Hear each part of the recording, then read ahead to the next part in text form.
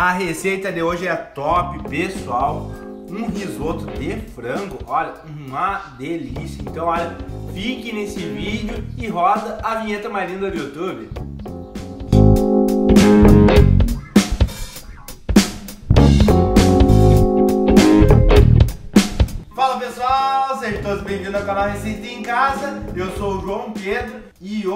Pessoal, a gente vai fazer um risotinho de frango, pessoal. Quem gosta, comenta aí que é uma delícia. Olha a receita simples, mas muito gostosa. Olha, boa assim, ó. Aquela receitinha de uma panela, não precisa fazer sujeirão, né? Mas fazer aquele horror de sujeira, não precisa, né? Não vai sujar nada, só cozinha, né? Isso mesmo. Então é a receita que a gente gosta, pessoal. Agora já vamos sem enrolação, vamos para os nossos ingredientes.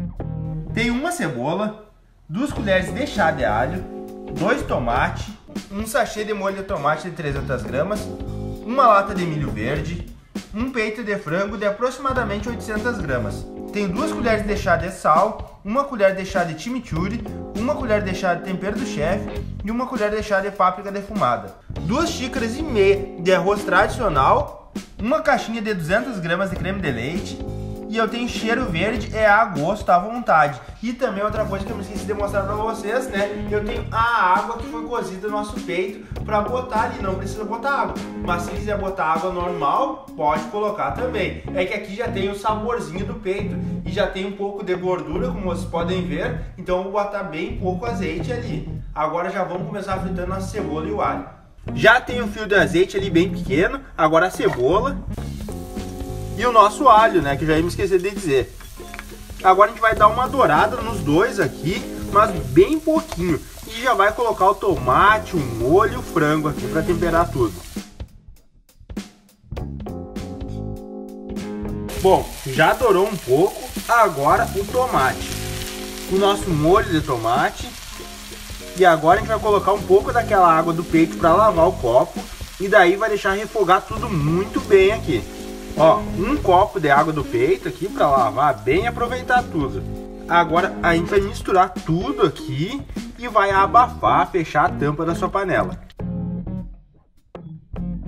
A gente quer esse tomate, essa cebola bem cozida para virar uma polpa mesmo. Agora é só tapar e esperar. Bom, já cozinhou bem nosso tomate, agora os temperinhos, né, que é muito importante. O frango desfiado e o nosso milho verde.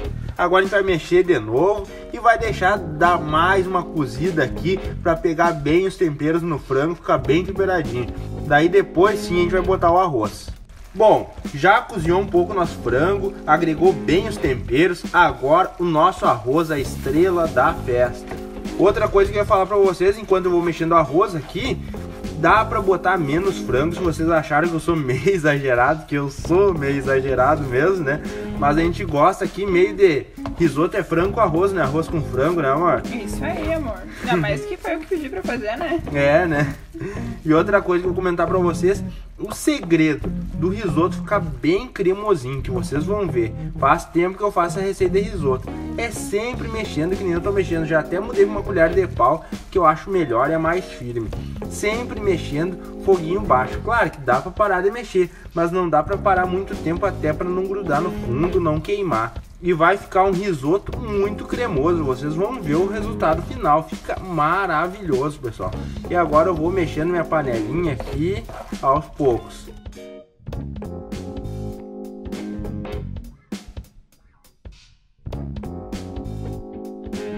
Já dá para botar mais um pouquinho da nossa água do cozimento do peito de frango, que vai dar aquele sabor, pessoal.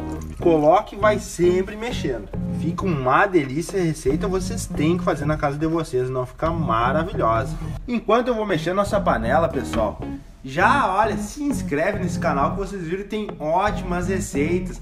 Ativa o sininho para receber todas as notificações. Deixa o nosso like que é muito importante para esse vídeo subir, olha aí, bem longe, tá bom? E compartilha com os amigos para chegar em pessoas novas. E segue a gente nas nossas redes sociais, arroba Receita em Casa Oficial, tá aqui em cima. Agora sim vou seguir mexendo minha panela aqui.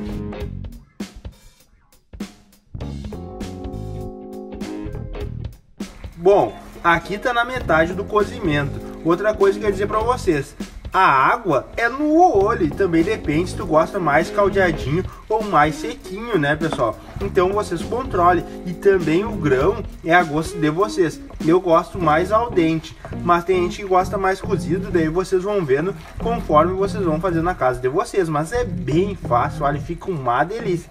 E tem o toque final, né? Que é o nosso creme de leite, o cheiro verde, né? Que daí, olha, vai dar aquela cara. Aguardem, pessoal, aguardem que fica melhor ainda. Bom, já tá pronto o nosso risoto. Agora eu boto o creme de leite e o cheiro verde e mistura tudo muito bem. E vocês vão ver o sabor que vai dar esse cheiro verde e a cremosidade do creme de leite. Não, é maravilhoso. Se vocês nunca fizeram desse jeito, façam, experimentem que vale a pena, pessoal. Bah, se vale, não, Mas credo, mano, fica show. Fica show de bola. Vocês viram aqui que a panela não é das pequenas, então dá pra diminuir a receita, né, mano? Porque a gente aqui, a turma é grande, come bastante, né, mano? A gente é muito comilão. É.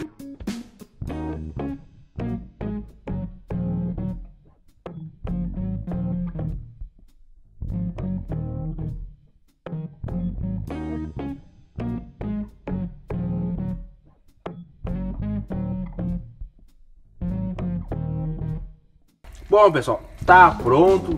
Vamos comer essa delícia que eu tô ansioso. Bom, pessoal, eu tô armado para me servir que olha, tá um cheiro, um cheiro nessa casa que vocês não imaginam. Mostra aqui, amor, a delícia que tá. Não, vamos se servir, amor. Olha, olha só a cremosidade, mano. Não, olha. Ah, deve estar uma delícia. Não, e carne sobra, né? Pena que eu sou a última a provar, né? Não, olha só. Pratinho, esse aqui é um engana bobo. Pratinho engana bobo, né? Olha, é. Olha, mostra aqui, bota aqui que eu vou botar uma cebolinha verde para decorar esse prato aqui. Que vai ficar top. Agora sim, ó. Aqui é o toque especial, pessoal. Agora a gente vai comer, pessoal. Bom, mano, olha. Ai, olha, eu tô uma... Ai, não tem nem coragem de provar na tua frente. Ah, eu vejo. Ai, não, tô vendo isso. Tá? Deus, vem cá, filho, vem. Ah,